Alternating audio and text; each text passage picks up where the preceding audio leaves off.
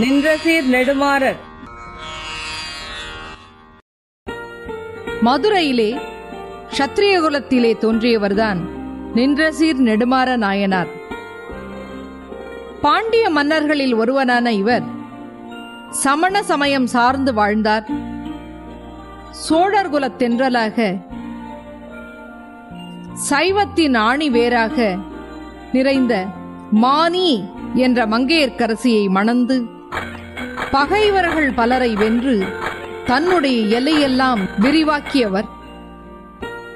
மன்னனும் பாண்டி நாடும் சமணம் தழுவி வாழ்ந்தபோது அரசி மங்கையர்க்கரசியாரும் அமைச்சர் குலச்சிறையாரும் சிவ நெறி போற்றுகின்றனர். சைவம் தழைக்க திருஞான சம்பந்த பெருமானை மதுரைக்கு அழைக்கின்றார்கள்.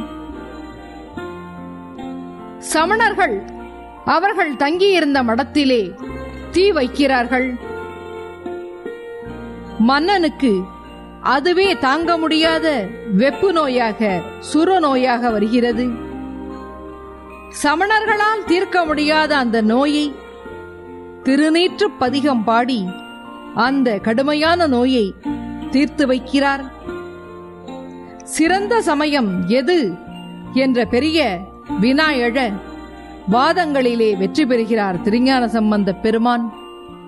வேந்தனும் ஓங்குக என்ற பதிகம் பாடியதால் கூன்பாண்டியன் நின்றசீர் நெடுமாறனாக மாறுகிறார்.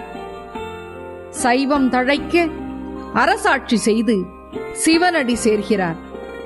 சைவ சமயத்திலே மிக அழுத்தமான பற்றுடைய குலச்சிறையாரை தன்னுடைய முதல் அமைச்சராக கொண்டிருக்கிறார்.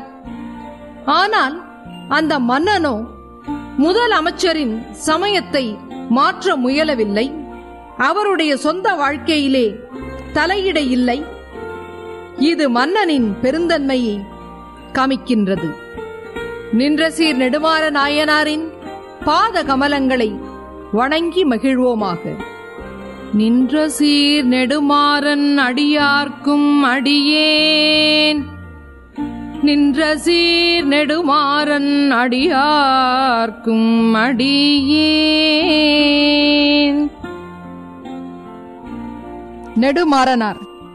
நின்ற சீர் நெடுமாற நாயனார் தன்னுடைய பரிசனங்களுடன் அரசவையிலே விற்றிருக்கும் காட்சி. நீரை கொண்ட சிந்தையா நெல்வேலி வெல்ற நின்ற சீர் நெடுமாறன்